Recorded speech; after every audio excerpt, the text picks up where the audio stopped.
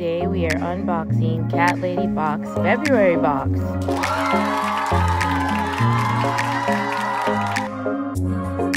Alright, first we have this super cute pink shirt with this cute cat making a funny face on it. Oh my god, it's so cute!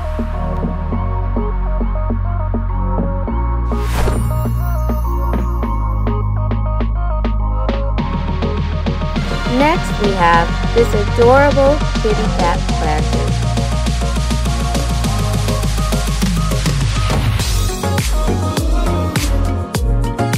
Super cute with the cat on the front and even a tail painted on the back. This is a Crazy Cat Lady box. That means it comes with two cat items. The first one is a colorful cat mat.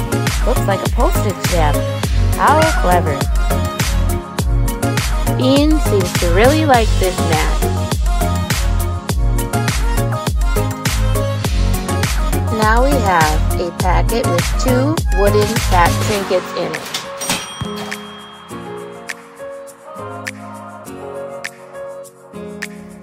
Beans is searching for the other cat toy. He knows it's there. Alright, for the second cat item, we have Cupid's arrow. Here you go, Beans. What you've been waiting for. And oh look, Ralphie's come to join us. And oh look, Percy is here too. Cat toys are catnip scented. That's probably what drew him in. This month's featured artist is Ava Farb. She did the artwork on this card. This is so cute, right?